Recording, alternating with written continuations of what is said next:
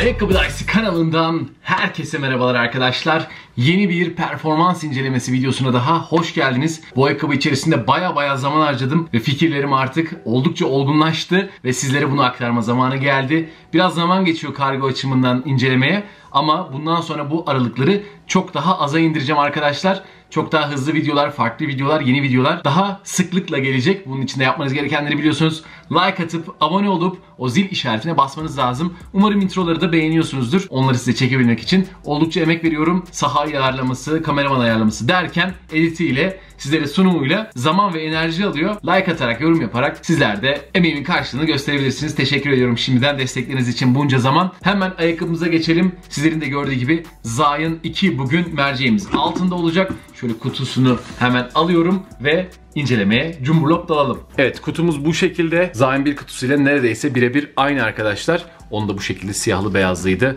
İkiye bölünmüştü. Gördüğünüz gibi Zion Williamson Jumpman yazıyor. Her zaman olduğu gibi 11 numara yani 45 numara aldım. Fakat keşke daha büyük alsaydım dedim. Çünkü e, ayağım içeride hiç rahat etmedi ve beni sıktı bu ayakkabı. Şöyle kaldıralım. Bir tanesini çıkartalım arkadaşlar. Oldukça ağır bu arada kutu.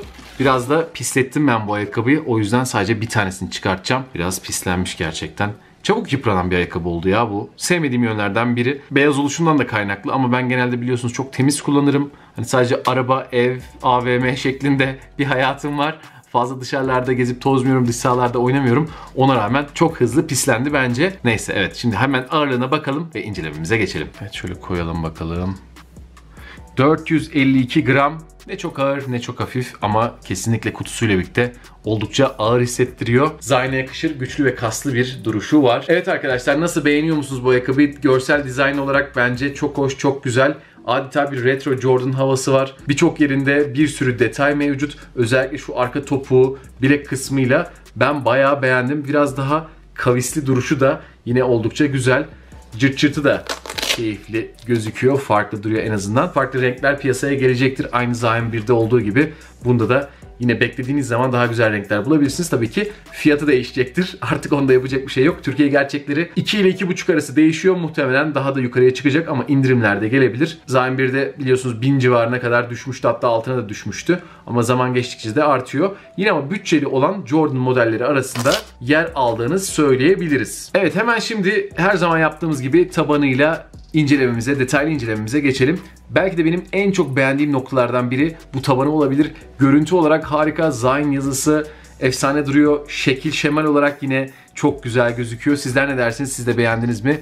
Topukta bir Jumpman logosuyla ikiye bölünmüş. Gerçekten keyifli, güzel duruyor. Peki sahada nasıl iş yaptı diye sorarsanız. Sahada arkadaşlar gayet güzeldi. Özellikle yana yaptığım hamlelerde güzel durdum. Çok sıkıntıya sokan bir durum olmadı. Tabi ara ara toz tuttu. Onları da sildiğiniz zaman tekrar yolunuza devam edebilirsiniz. Sert plastikten olan rengi belki ilerleyen zamanlarda şeffaf plastikten yapılan da çıkabilir. Dışarıda oynamaya çok uygun olacağını düşünmüyorum. Sert plastik olsa dahi buradaki girintiler derin ama çok kuvvetli değil. Yani yine oynanabilir mi? Bu rengiyle özellikle oynanabilir. Ben tavsiye etmem. Çok hızlı kirlenir, çok hızlı mahvolur. Buraları dümdüz edebilirsiniz. Yine de ama oynanabilecek ayakkabılardan biri. O da dediğim gibi sert plastik olduğu için. Tabanına vereceğim puan arkadaşlar benim 10 üzerinden 8.7 olacak. Fena değil dediğim gibi güzel bir taban tuşuna sahip oldum. Keyifliydi, güzeldi. Görüntü olarak da biraz olsun dışarıda oynamaya uygun olmasıyla bu puanı benden aldı diyebilirim. Ve asıl ayakkabıdan şikayet edeceğim noktaya yani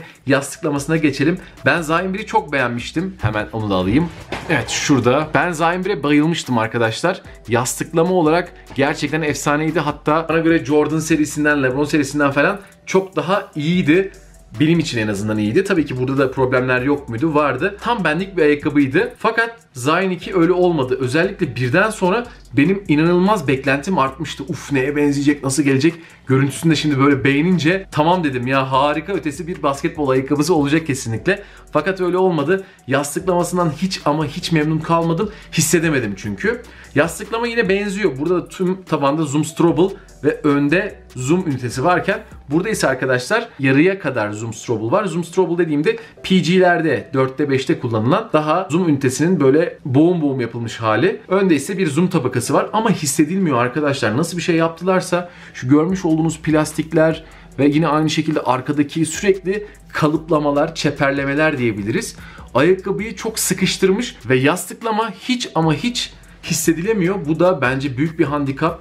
Özellikle Zayn gibi bir oyuncuda bilmiyorum nasıl olacak. Onun da vücudu çok ağır, sakatlıklar yaşıyor ve yastıklamaya çok ihtiyaç duyuyor. Bu şekilde oluşu gerçekten beni çok üzdü. Dediğim gibi etkiden korunmayı hissedemedim. Bileklerim, dizlerim ağrıdı. Yere yakın hissediyorsunuz. Biraz gardlara yönelik tarzda bir ayakkabı olmuş. Fakat benim hiç hoşuma gitmedi yastıklaması. Bunun üzerinden vereceğim puan da 7.8 olacak arkadaşlar. Gerçekten hayal kırıklığının dibini yaşadım yani bu ayakkabıda. Çünkü çıkar çıkmaz almıştım. Çok beklentiyle almıştım. Özellikle birincisinin harika oluyor olması beni daha daha beklentiye sokmuştu. Tabii ki her zaman bu beklentilerimizin karşılığını bulamayabiliyoruz. Bu da onlardan biri oldu. Yastıklama zaten beni izliyorsanız bir süredir arkadaşlar bilirsiniz. En dikkat ettiğim nokta ve maalesef bana uygun olmadı. Yani o kadar güçlü olmadı ama guard arkadaşlarım bence buna bayılacak. Daha çok 1-2 numaraya uygun olduğunu düşünüyorum. Yine tabii ki daha büyük arkadaşlarım da alabilir. Fakat genel itibariyle bu yastıklamanın güçsüz gelmesi bana daha ağır ve büyük arkadaşlarıma önermekten alıkoyacaktır. Tabii doğru numara da çok önemli. Dediğim gibi 45 numara aldım ben bunu ve arkadaşlar inanır mısınız Ayaklarım önden çok vurdu. Sebeplerini hemen sıralayayım. Bir şurada görmüş olduğunuz içeriye doğru girinti ufakça ayakkabının uzunluğundan çalıyor. Diğeri ise arkadaşlar şu iç kısımdaki yastıklama ve petlemeler ve ufak da olsa ayakkabının içeriye girintili olması adeta yarım numara küçültüyor diye düşünebilirsiniz. Ben bunu 45 aldım ama keşke 45.5 alsaydım diyorum. Sizler de yarım numara mutlaka ve mutlaka bence yükseğe çıkın. Normal basketbol ayakkabılarınızdan düşünün.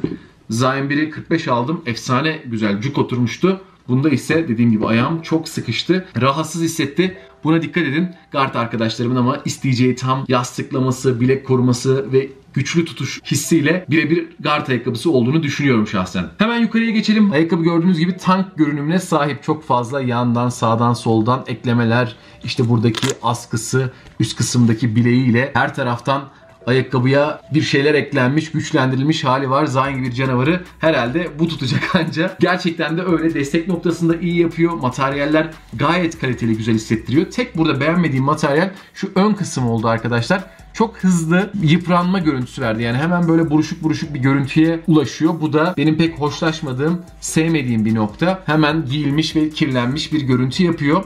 Bu arada ben bunu arkadaşlar gündelik hayatta tercih etmeyi düşünüyorum. Gündelik hayatta çok uygun olduğunu düşünüyorum. Normal bir retro Jordan görüntüsü de var. Belki ilerleyen zamanda daha farklı bir rengini alabilirim. Onu ama 45.5 almayı düşüneceğim. Çünkü 45.5 alıp tekrar kıyaslamak istiyorum. Acaba yastıklamayı bu yüzden mi hissedemedim diye de ufak bir soru işareti var aklımda. Ama hissedilebilir olsaydı buna da hissedilirdi. Çok mantıklı bir tez değil belki ama kendi içimde böyle bir düşüncem var. Gündelik hayatta giymeye çok uygun olduğunu düşünüyorum.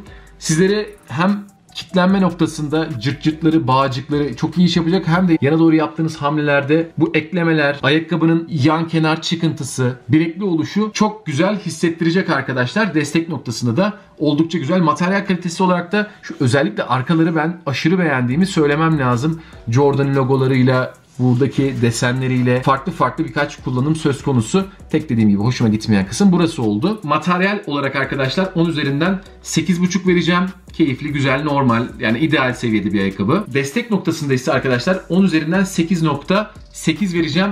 Yine destekte de gayet iyi işler yapmış. Son zamanlarda çok fazla bilekli ayakkabı bulamıyoruz. Bunun bu şekilde bizlere bilek öneriyor olması gayet iyi. Bileğine biraz daha yakından bakabiliriz. Görmüş olduğunuz gibi içeride fena petlemeler mevcut arkadaşlar. Bu petlemeler hem sizin ayağınızı ittiriyor hem de bileğinize güzel bir koruma sunacaktır. Biraz da rahatsız bir his verebiliyor. Yani çok tuhaf, çok e, iyi kilitliyorsunuz. Ama ayakkabıyı adım attığınız zaman içe doğru kırılmasında bir tuhaf bir şekilde bu bilekli ayakkabıların zaten handikapıdır. İçeri doğru ayağınızı çekmeye çalışıyor. Biraz alışmanız gereken bir his. Kötü değil yani tuhaf diye tabir edebiliriz.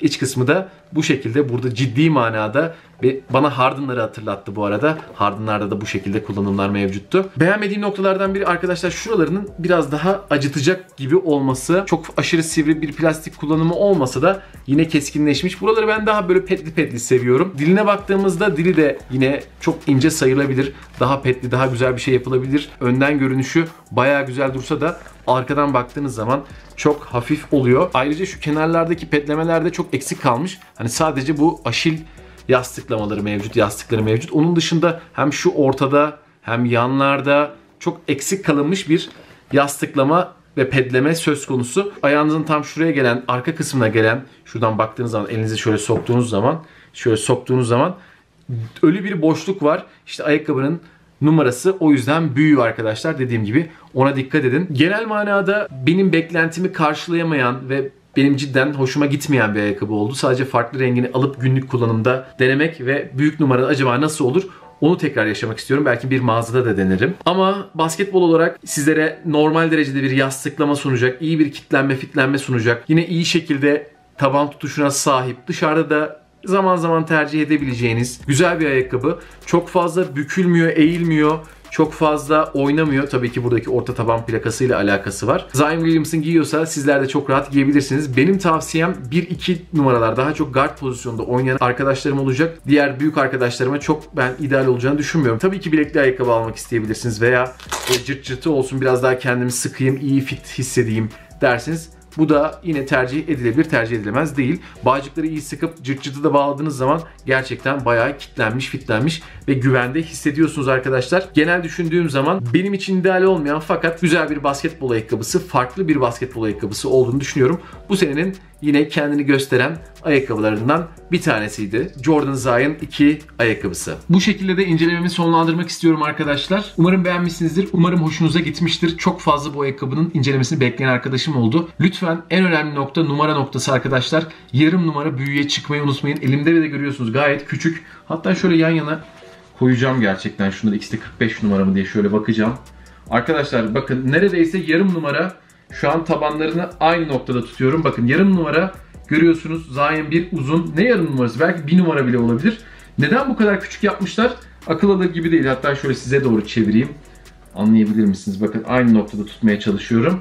Görüyorsunuz. Bayağı bir fark var arkadaşlar ya uzunluk olarak. Aynı zamanda dar da bir ayakkabının bütün özelliklerini çöpe atmanıza sebep olabilir. Hem dar hem kısa. Ya 45 numara benim için zaten büyük bir numarayken bir tık daha büyüğe gitmem gerektiğini görüyorum. Sizler de belki bir numara bile büyük alabilirsiniz. Ona göre buna dikkat edin. Teşekkür ediyorum izlediğiniz için. Benim cevap vermediğim merak ettiğiniz bir konu varsa aşağıya yoruma yazın. Ben cevap vermeye çalışırım. Bir sonraki defada görüşmek dileğiyle. Ayakkabı Dayısı bugünlük out.